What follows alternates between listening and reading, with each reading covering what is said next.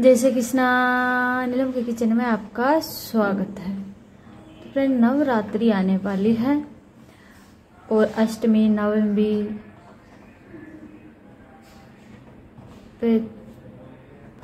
तो माता पूजन के लिए प्रसाद बनता है, हलवा, मालपुआ।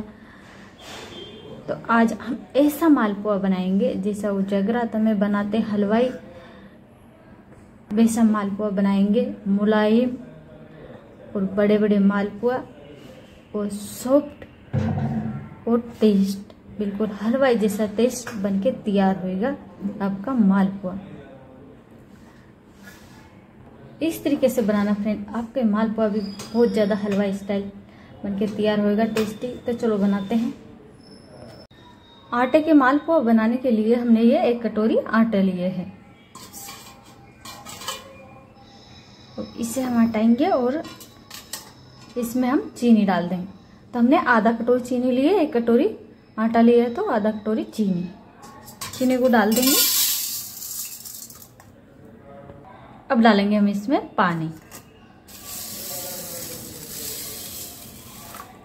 और चीनी को अच्छे से मेल्ट कर लेंगे। इस तरीके से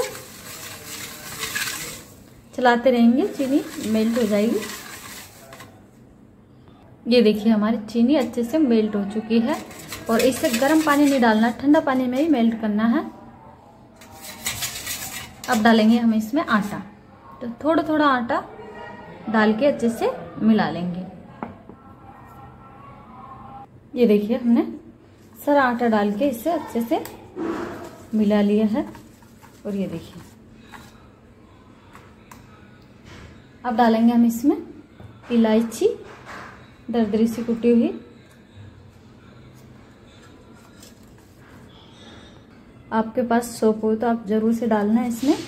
बहुत अच्छे से, बहुत अच्छा टेस्ट आता है मालपुए में।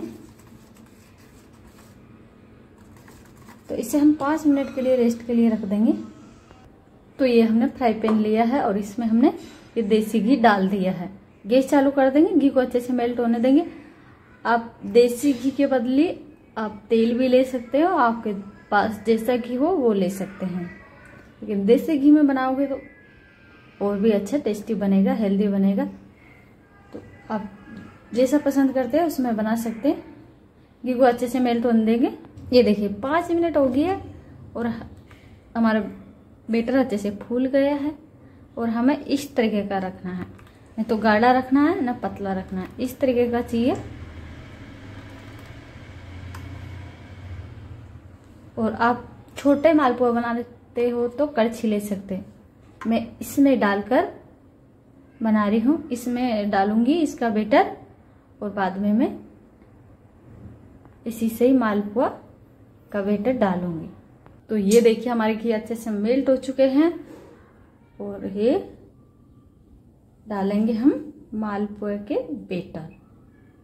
तो मैंने इसमें डाल दिया है बेटर और मैं बड़ा वाला मालपुआ बना रही हूँ तो ज़्यादा बेटर डालने वाली हूँ।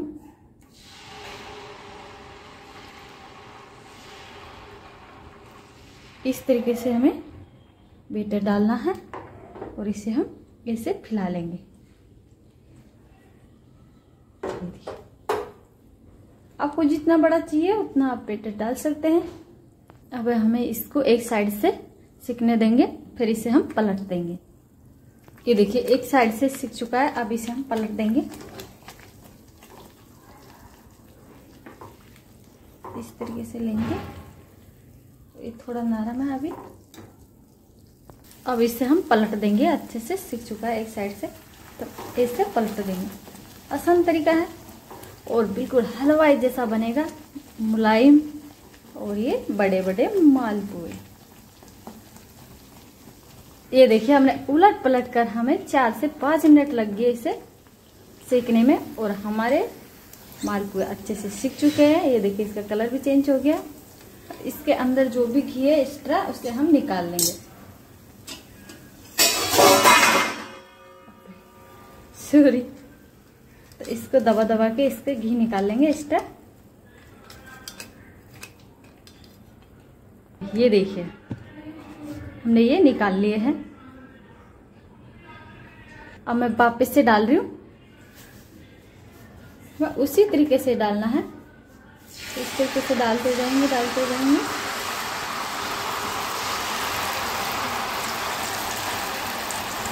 आपको जितना बड़ा चाहिए, उतना बड़ा आप ले सकते हैं।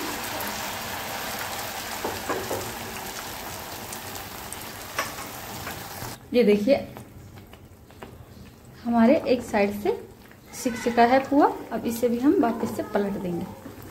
इस तरीके से पलट देंगे। बिल्कुल भी दिक्कत नहीं आती है।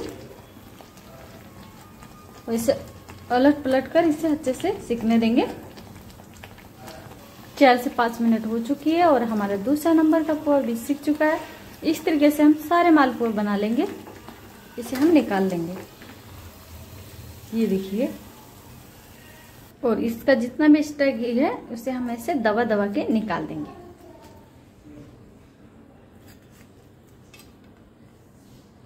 अब इसे हमने, ये देखिए, हमने सारे मालपुआ बना लिए हैं।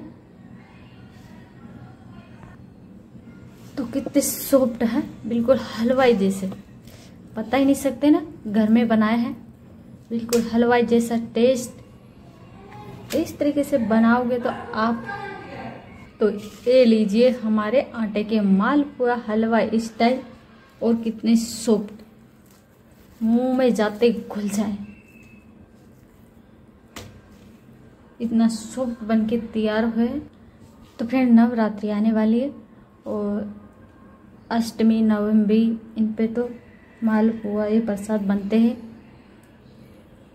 लेकिन इस तरीके से बनाओगे आप भी मालपुए तो बिल्कुल हलवा स्टाइल बन के तैयार होगा